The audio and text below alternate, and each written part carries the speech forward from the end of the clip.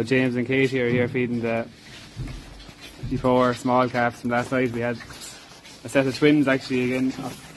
A heifer had twins, this one here and this little one down here.